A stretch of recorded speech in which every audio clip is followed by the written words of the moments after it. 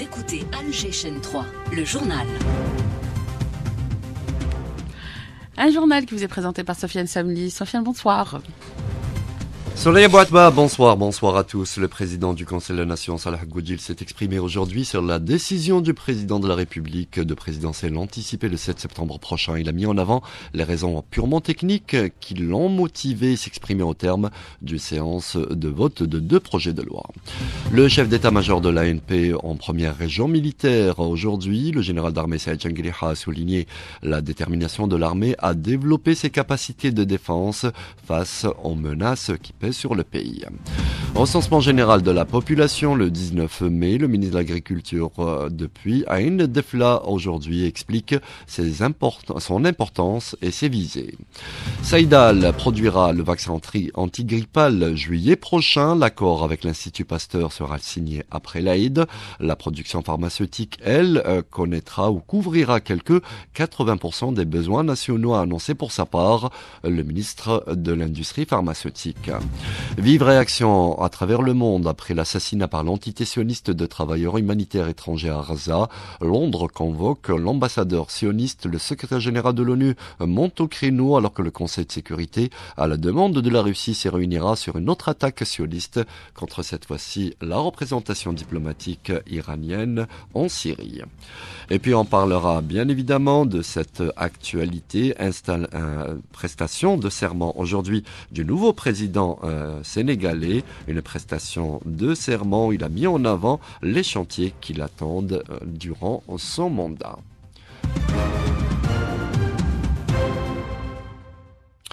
Mesdames, Messieurs, bonsoir. Dans l'actualité, on le disait, ces propos du président du Conseil de la Nation, Salah Goudjil, au terme d'une séance aujourd'hui, une séance de vote de deux projets de loi sur le code pénal et l'industrie cinématographique. Salah Goudjil s'est exprimé sur l'actualité brûlante, cette euh, décision du président de la République d'élection anticipée le 7 septembre prochain et souligné qu'il s'agissait bel et bien d'un choix purement technique et se mettant en avant, entre autres, les échéances électorales, notamment celle de la Chambre haute du Parlement qui aurait coïncidé avec une campagne présidentielle la même période durant euh, le mois de décembre. Le président du Conseil de la Nation. Comme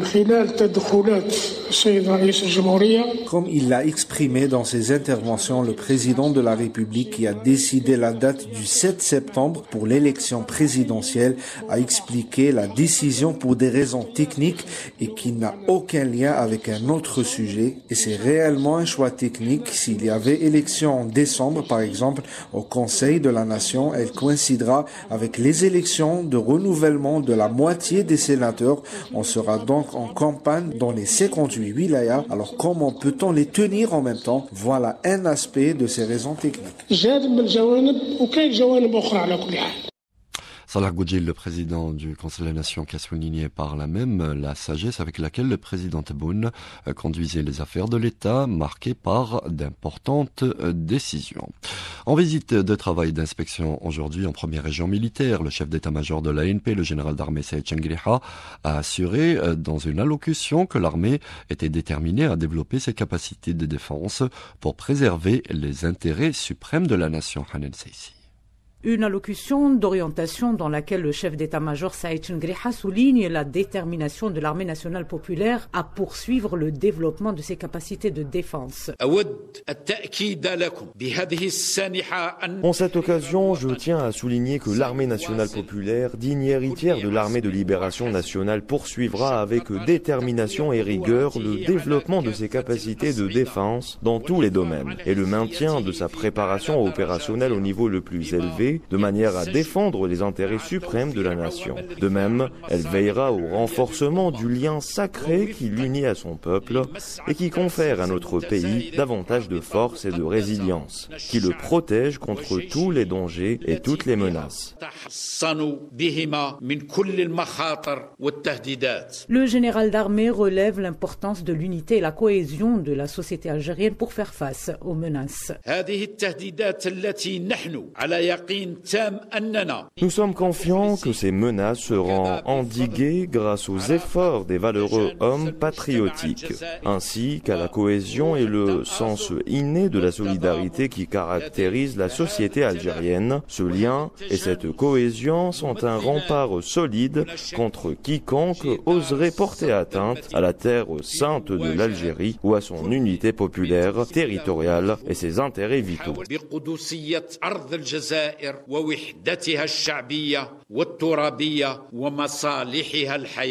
Le général d'armée a donné des orientations quant au maintien de la préparation opérationnelle des unités de la région au plus haut niveau. Dans l'actualité politique, cette réunion de coordination aujourd'hui entre les premiers responsables du Front de Libération Nationale et du Front Al-Mustaqbel, Abdelkalim Ben Mebarki et Fatah Boutbirk, qui ont évoqué le renforcement du front interne. Notamment, ils promettent d'autres réunions de concertation sur l'actualité politique que connaît le pays. Le rendez-vous est donné, ça sera le 19 mai prochain, date de l'entame du recensement général de l'agriculture, une date annoncée hier, expliquée aujourd'hui avec sa portée ses objectifs par le ministre de l'Agriculture. Youssef Chorfa était en déplacement dans la wilaya de Aindefla, d'où cette correspondance de l'Imar Rahmani. Tous les moyens seront disponibles pour la réussite de l'opération du recensement agricole dont le coup d'envoi sera donné le 19 mai prochain, a déclaré le ministre de l'Agriculture et du Développement rural en marge de sa visite ce lundi à la wilaya de Indefla. D'abord, il faut situer le contexte. C'est la dernière réunion du Conseil des ministres où le, où le président a inscrit euh, dans son programme ce recensement, lui donner tous les moyens qu'il faut et en lui donnant la place stratégique qui lui revient dans les données statistiques du secteur de l'agriculture. Donc le recensement est une opération très importante, non seulement pour nous en tant que secteur, mais pour toute l'économie nationale. Hier, nous avons fait la cinquième réunion du comité national où nous avons annoncé la date qui a été, bien entendu, validée par euh, Monsieur le Président de la République. Ça pour le recensement, donc tout est prêt.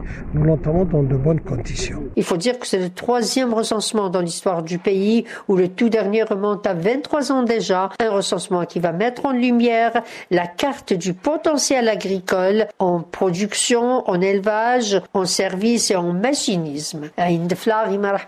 Algéchane 3. D'autres objectifs et visées sont également attendus de ce recensement général de l'agriculture, comme le relève Yala Boukhalfa, l'expert agricole. Il en parle à Ibti Adoun. Les données de recensement vont nous permettre de mettre en place la nouvelle stratégie de fonctionnement qui est la numérisation. S'il y aura des excédents, c'est qu'il faut réfléchir d'ores et déjà comment les transformer, les stocker ou les exporter afin d'éviter des pertes aux agriculteurs. Et à une semaine plus ou moins de Eid al-Fitr, ce chiffre avancé aujourd'hui par le ministre du Commerce, 51 200 commerçants, ils seront réquisitionnés pour les 4 ou 5 jours fériés. Taïb Zitouni euh, qui a appelé à l'ensemble des opérateurs et producteurs à approvisionner ces commerçants. Zitouni était en visite dans la wilaya de Tizi Ouzou. Il a évoqué la régularité marquée, euh, qui a marqué le marché durant ce mois sacré de Ramadan et des tentatives de spéculation. Habitation.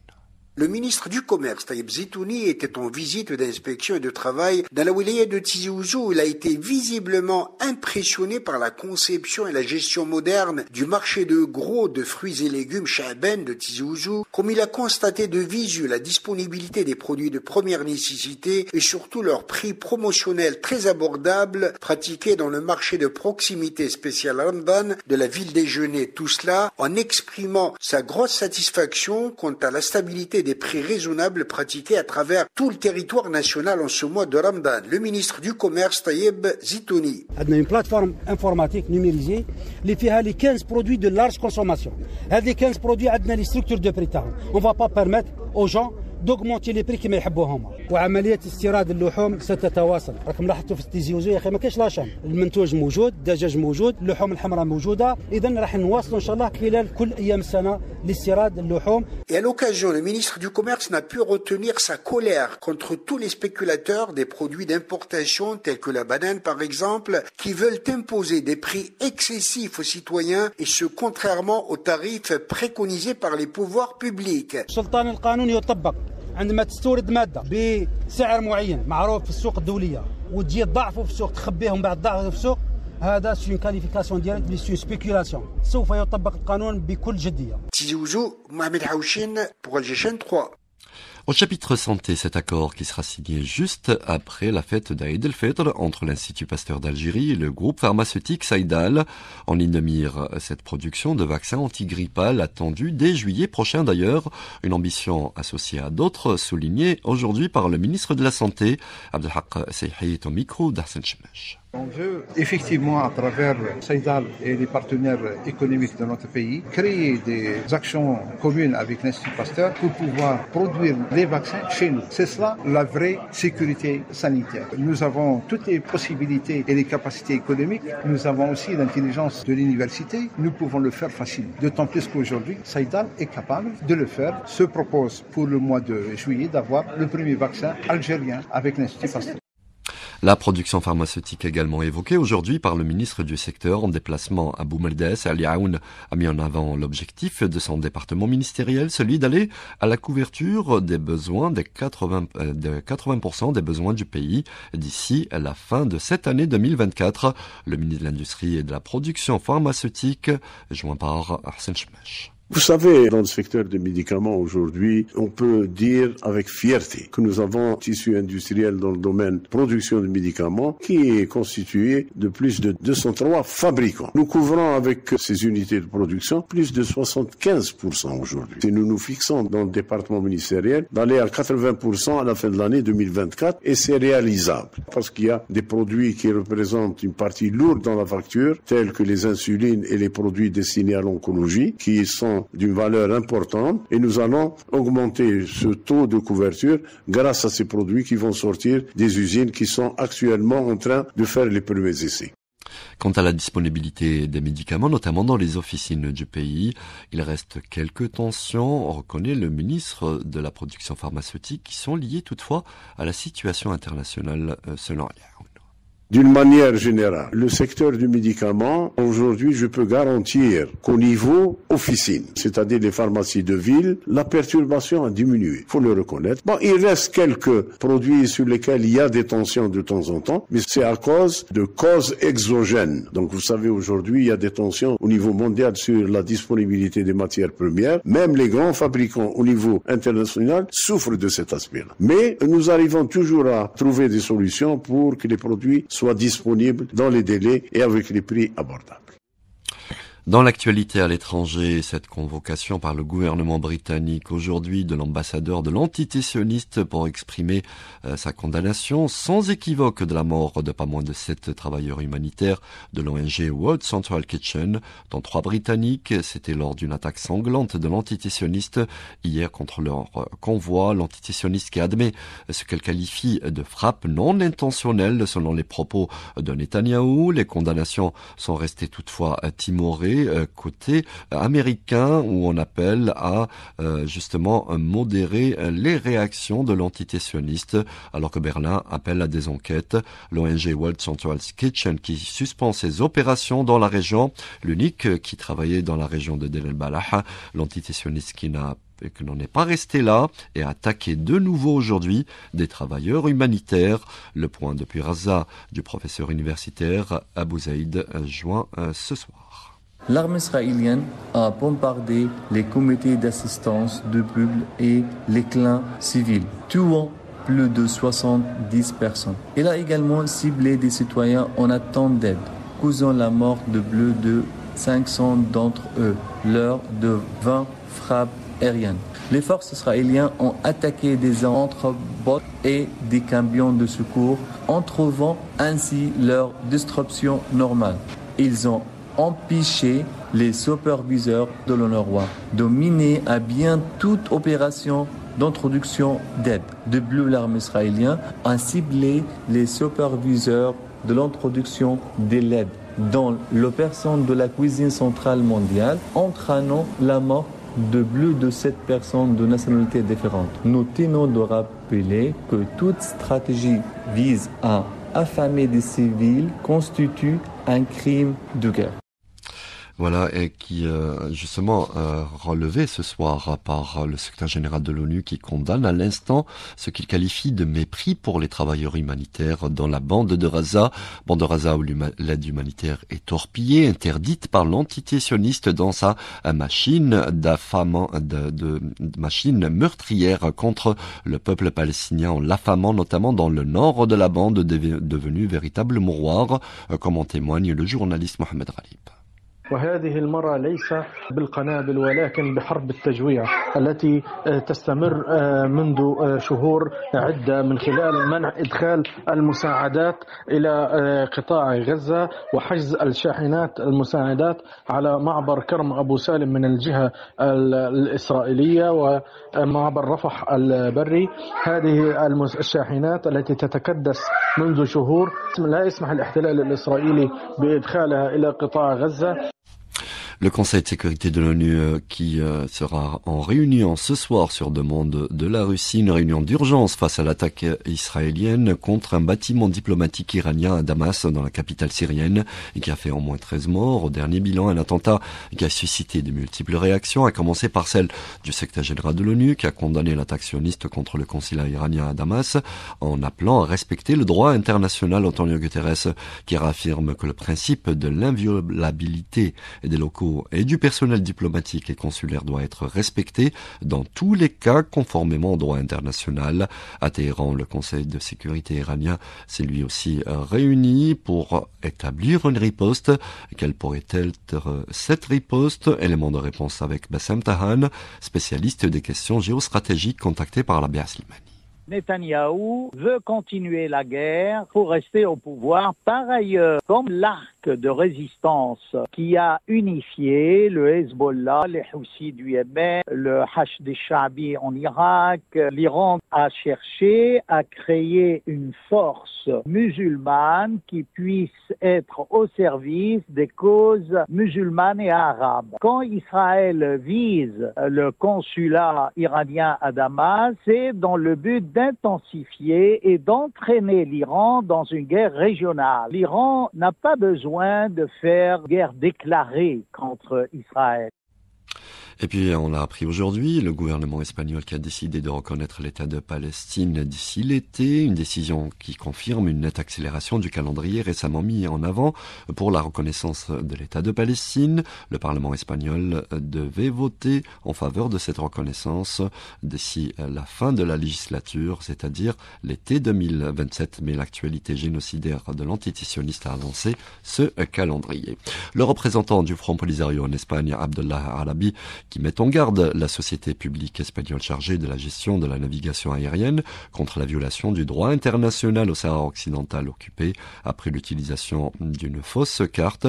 Dans une lettre adressée au président de cette société, il souligne le non-respect du statut distinct et séparé du Sahara occidental, des cartes utilisées par la force occupante, le Maroc, dans ses applications qui représentent une violation du droit international, comme l'explique Belal Ranti, l'analyste politique et ancien diplomate est contacté par Lies concernant tous les attributs de souveraineté liés au Sahara occidental et auxquels le Front Polisario est très attentif et entend batailler partout pour que le Maroc n'en ait pas la moindre possibilité de normalisation et encore moins de légalisation. Et à la fin, il est tout à fait euh, clair que la victoire sera au bout de tous ces efforts pour maintenir euh, le Sahara occidental dans les radars du droit international et à la fois aussi mettre euh, le Maroc dans la case qui lui sied, c'est-à-dire un pays colonisateur euh, qui enfreint le droit international et qui euh,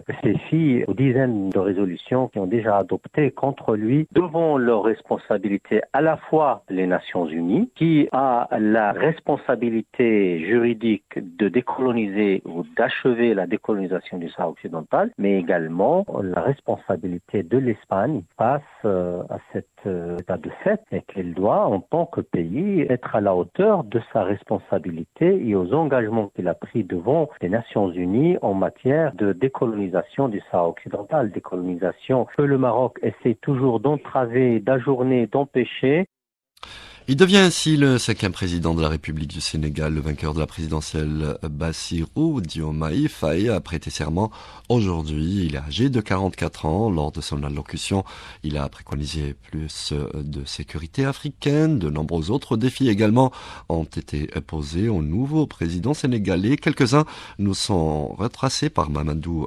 Kassé, rédacteur en chef d'un quotidien sénégalais contacté par la BA Slimani.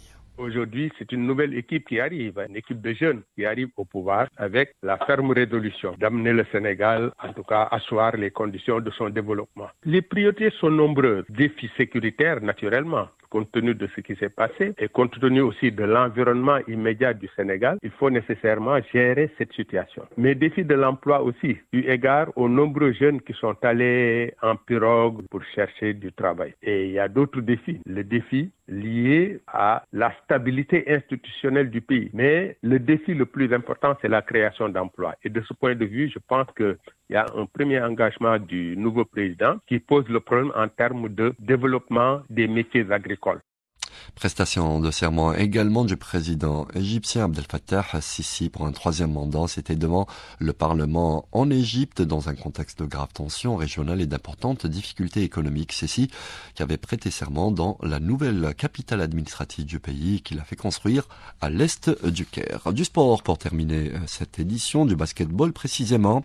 Une affiche qui aura lieu ce soir entre USND Marine et le groupement sportif de Cossider. Et cela pour le compte de la mise à jour de la septième journée euh, chez les dames. Cette présentation est signée Rostam. Chez les dames, on jouera pour le compte de la mise à jour de la septième journée du tournoi des playoffs avec Houssine Marine qui accueille la formation du groupement sportif de Cossider. Une rencontre importante pour Houssine Marine, cinquième au classement, et qui doit gagner ce match pour augmenter ses chances de qualification pour le tournoi des As, comme nous le dit son entraîneur, Moran Ben Abbas. C'est un match qui est important pour nous, très difficile contre Cossider. On connaît Cossider qui est premier au classement. On se prépare pour faire un match plein, d'être à la hauteur de notre engagement et pourquoi de son côté, l'entraîneur du groupement sportif de Cossider, Abdeljalil Rouache, estime que cette rencontre est importante pour son équipe pour assurer la qualification au tournoi des As. Le plus important, c'est qu'on a la majorité des joueuses, qu'on manque un peu de compétition. Depuis le début de Ramadan, on a joué uniquement un seul match. Mais on va faire de notre mieux pour euh, récupérer notre place de leader. Houssine Desmarines, groupement sportif de Cossider, ça sera ce soir à 22h à la salle du Caroubier. Autre rencontre au programme ce soir, c'est chez les messieurs, la suite de la 23e journée du championnat Super Division avec le CR Benessaf qui accueille la Lanterne Rouge, l'AS Oumelpoagui.